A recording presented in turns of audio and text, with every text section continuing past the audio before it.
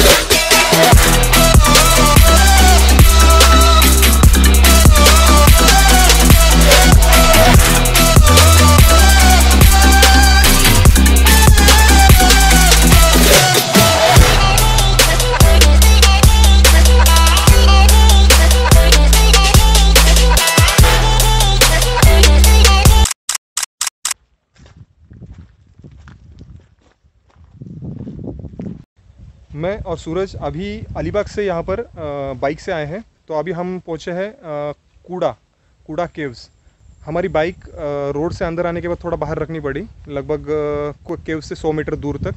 तो आगे का जो सफ़र है, हम लोग को पैदल करना है। तो चलिए स्टार्ट करते हैं।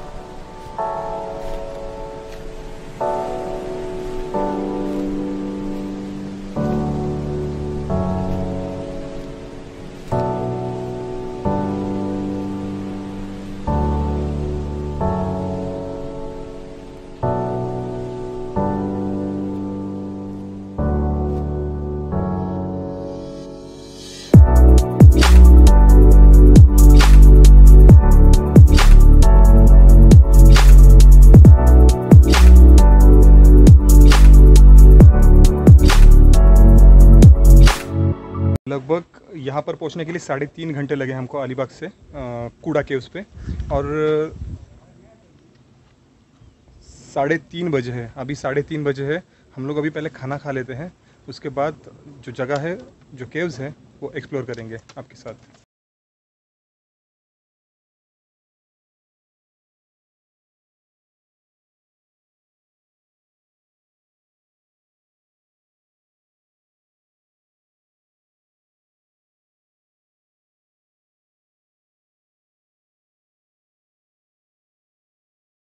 खाना हो गया है और अभी बहुत लेट भी हो चुका है तो उस हिसाब से जल्दी जल्दी आपको एक्सप्लोर करने की कोशिश करेंगे। जो मेरे पीछे सब आपको दिख रहे हैं वो केव्स है। तो केव्स के बारे में जानने से पहले थोड़ा हिंदुस्तान के इतिहास के बारे में जानेंगे। तो थोड़ा थोड़ा पीछे जाएँगे हम लोग। सातवाहन। जो सातवाहन प्राचीन भारत का एक राजवंश था। इसने ईसा पूर्व 220 से लेके दूसरी सदी के बाद तक दक्षिण मध्य भारत पर राज किया। यह मौर्य वंश के पतन के बाद शक्तिशाली हुआ था। अशोक की मृत्यु के बाद सातवाहनों ने खुद को स्वतंत्र घोषित कर दिया। कूड़ा जो गुफाएँ हैं मेरे पीछे, ये सातवाहन कालीन राजाओं के कालखंड में ईसा पूर्व पहले शतक से शुरुआत का निर्माण इनका हुआ था। गौतमी पुत्र यज्ञश्री सातकर्णी के कालखंड में इन गुफाओं का ज़्यादातर निर्माण हुआ है। यह गुफाएँ महाबू पहाड़ों में स्थित है। ये जो पहाड़ दिख रहे हैं आपको, ये सब महाबू पहाड़ों में स्थित है। उस वक्त सातवाहन राजाओं के राज्य को भुक्ति नाम से जाना जाता था।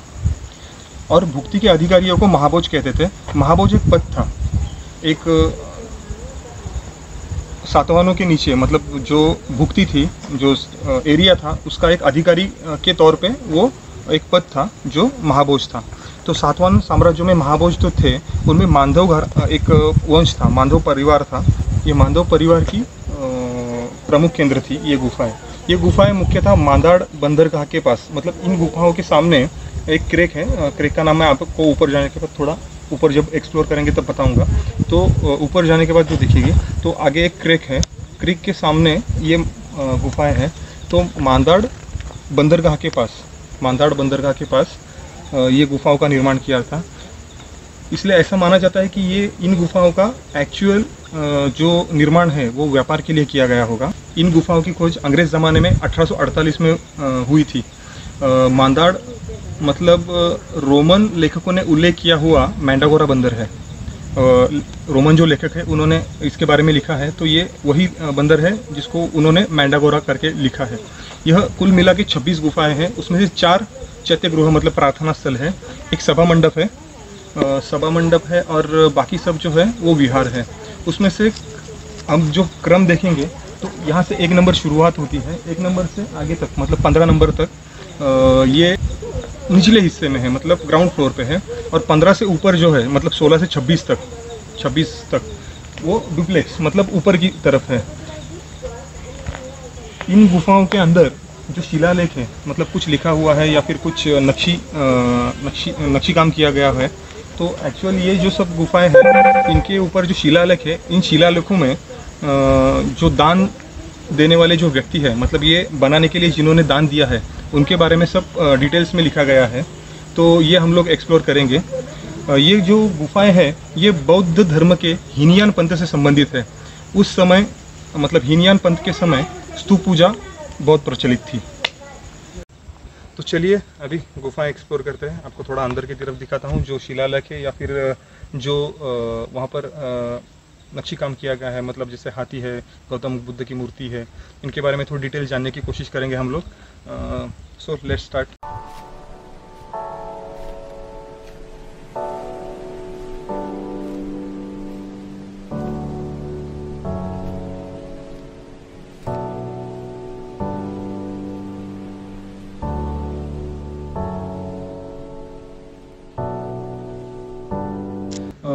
जो शिलालेख है, वो प्राकृत भाषा में लिखा है तो उसका डिटेल में अभी आपको बताऊँगा। जितना मैंने पढ़ा है मतलब जितना मैंने बुक्स में या फिर सोशल मीडिया से मैंने जो लिया है, वो आपको बताने की कोशिश करूँगा।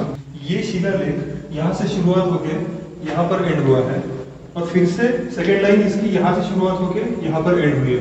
मतलब ये कंटिन्यू लिया है उन्होंने यहाँ से यहाँ तक।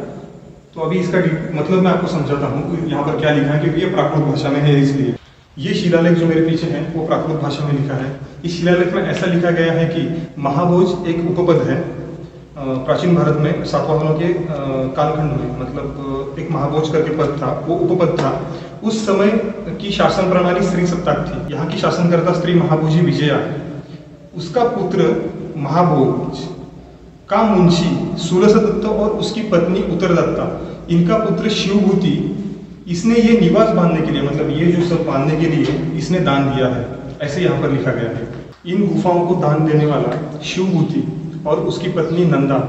ये दोनों भी महाभोजी विजया और उसका पुत्र महाभोज। महाभोजी विजया का पुत्र महाभोज महाभोज माधव खंडपालित, महाभोज माधव खंडपालित इसके पास लेखक का काम करते थे।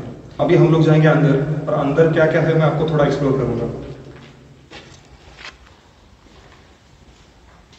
अभी हम लोग अंदर आए हैं, अंदर एक विहार है, और विहार के बिल्कुल सामने एक रिवर दिखता है। अभी थोड़ा मोबाइल फ्लैश लाइट मार के हम लोग आपको दिखाने की कोशिश करेंगे, क्योंकि अंधेरा बहुत है अंदर, और दो खंबे हैं, उसमें से एक खंबा अभी तक है, और दूसरा खंबा टूटा हुआ है। तो वो दिखाने की कोशिश करेंगे फ्लैश लाइट में, और उसके बाद थोड़ा अंदर एक्सप्लोर करने की कोशिश करूँगा आपके साथ।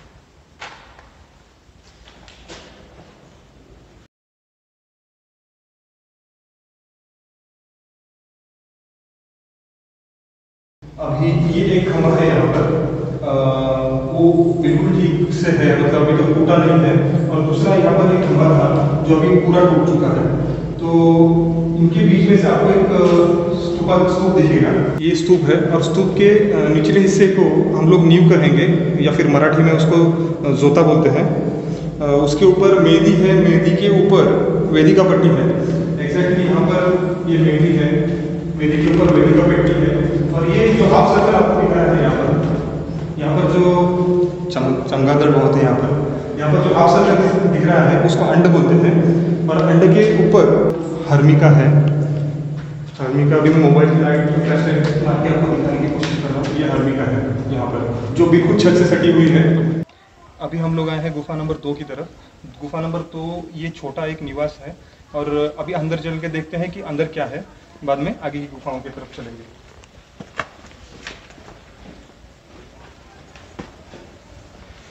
थोड़ा अंदर आने के बाद एक हम लोग जैसे शहर में देखते हैं या फिर गाँव में, हमारे घर में सोफा टाइप बना हुआ होता है। वैसे ये सोफा टाइप बना है। यहाँ पर कुछ लिखा तो नहीं दिख रहा है और अंदर एक छोटा रूम है। बस यहाँ पर दूसरा कुछ नहीं मतलब इसको एक छोटा निवास बोलेंगे जो लोगों के लिए, रहने के लिए था। कुछ टूटा फूटा है, लेकिन ठीक है।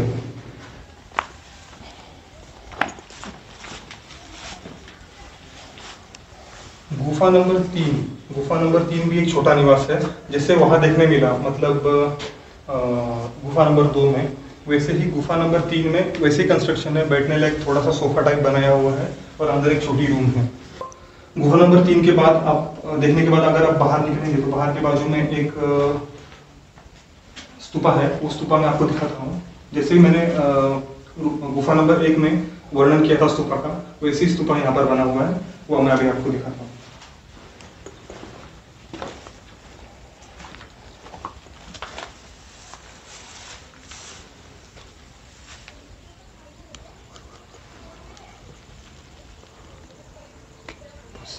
तीन नंबर गुफा देखने के बाद हम लोग अभी जाएँगे चार नंबर गुफा के पास। चार नंबर गुफा बिल्कुल बाजू में थोड़ी लेकिन थोड़ी ऊपर है तो हम लोग अभी आगे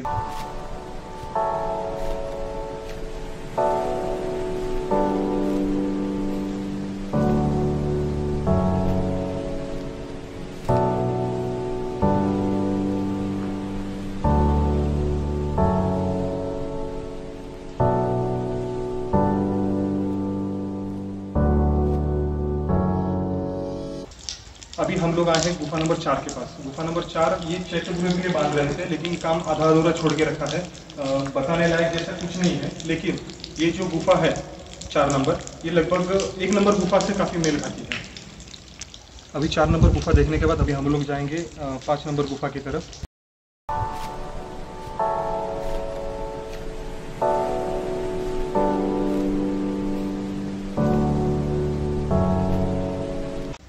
आए हैं हम लोग गुफा नंबर पाँच के पास। गुफा नंबर पाँच जो मेरे पीछे देख रहे हैं, वो एक भिक्खू निवास है। बिल्कुल उसके बाजू में, बाहर की तरफ़ एक पानी की टंकी बांधी गई है। अभी आए हैं हम लोग गुफा नंबर पाँच में।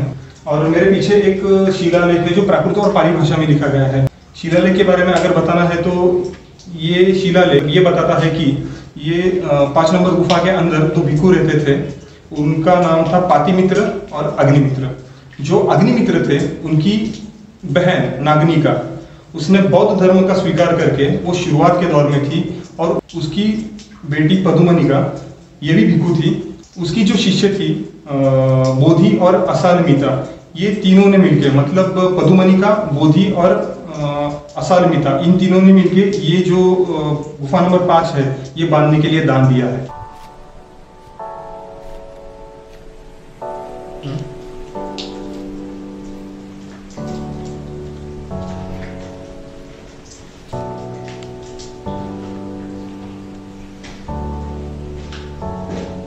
यहाँ पर अंदर एक पिक्कू निवास है। बिल्कुल अंधेरा है।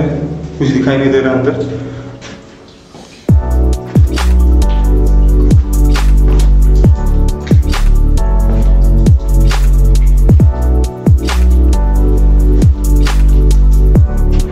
और ये एक भिक्खू निवास है। मतलब बाजू बाजू में दो भिक्खू निवास है। बाहर बरामदा बिल्कुल कॉमन है। और बाहर एक पानी की टंकी है। गुफा नंबर पाँच देखने के बाद हम लोग जाएँगे अभी गुफा नंबर छः की तरफ़।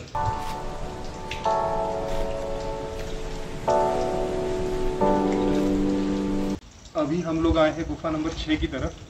छः की तरफ़ अगर हम लोग देखेंगे तो मोस्टली हम लोग को यहाँ पर एक टूटा हुआ हाथी का हाथी दिखता है। या मतलब पूरा पहले एक हाथी था। आज सामने सामने दो हाथी थे। और यहाँ पर एक हाथी है अभी तक जिसकी सूंड टूटी हुई है और काफ़ी डैमेज हुआ है उसको। तो आप देख सकते हैं इसमें। और यहाँ पर हाथी के बिल्कुल बगल में एक गौतम बुद्ध की मूर्ति है।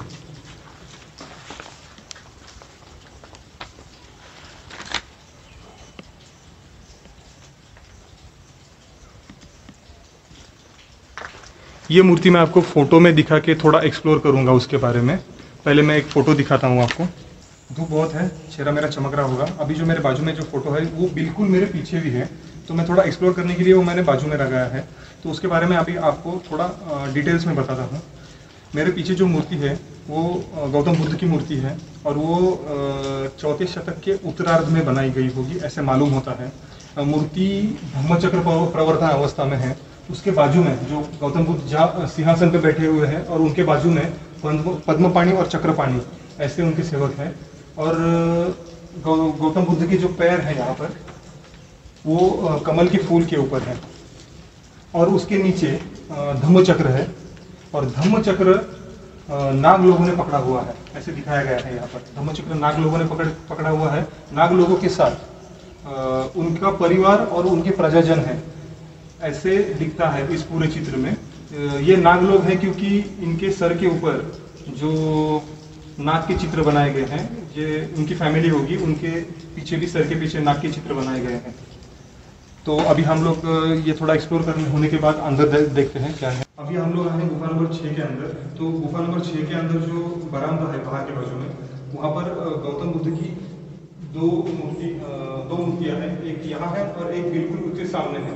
तो जैसे मैंने पीछे वर्णन किया है गौतम बुद्ध धर्म प्रवर्तन अवस्था में बैठे हैं। उनके साथ में पद्म पाणी और चक्रपाणी, उनके दो शिष्य हैं। ये सब यहाँ पर सेम वैसे ही मूर्ति है। और उसके नीचे एक शिलालेख है। और उस शिलालेख में ऐसे लिखा गया है कि ये जो शिलालेख है, वो ये मूर्ति है, ये बनाने के लिए एक भिक्खु ने दान दिया है। अभी गौतम बुद्ध की मूर्ति देखने के बाद उनके बाजू में बिल्कुल एक शिलालेख लिखा गया है। उसके बारे में हम लोग थोड़ा कुछ जानेंगे। यहाँ की जो स्त्री शासन करता थी महाभोजी महाभोजी विजया, उनका पुत्र महाभोज माधव खंडपालित उनका मुंशी सूरस दत्त और उसकी पत्नी उत्तरदत्ता। इनका पुत्र शिवभूति और उसकी पत्नी विजया, इनके तीन पुत्र थे। उन्होंने ये जो सब गुफा है, छह नंबर गुफा ये सब खोदने के लिए जो औज़ार दिए, ये उन तीन लड़कों ने दिए और इसके अंदर जितने भी खंबे हैं, ये जो खंबे दिख रहे हैं, अभी मैं आगे आपको दिखाऊँगा, ये जो खंबे हैं, ये खंबे खोदने के लिए उनकी तीन पुत्रियाँ मतलब शिवभूति के शिवभूति और विजया के तीन पुत्रियाँ इन्होंने दान दिया था। अभी ये शिलालेख देखने के बाद अभी थोड़ा हम लोग अंदर जाएँगे और अंदर का अंदर जो मूर्तियाँ हैं, मैं आपको दिखाऊँगा।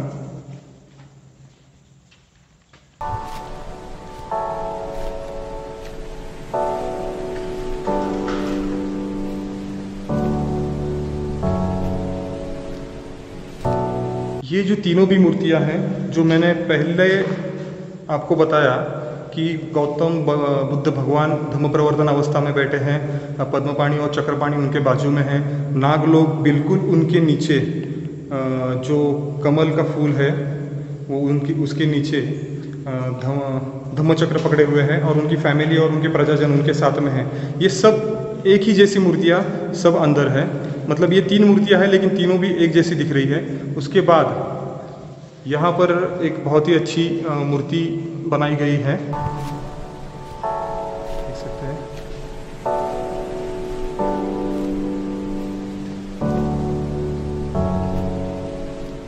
अंदर एक स्तूपा है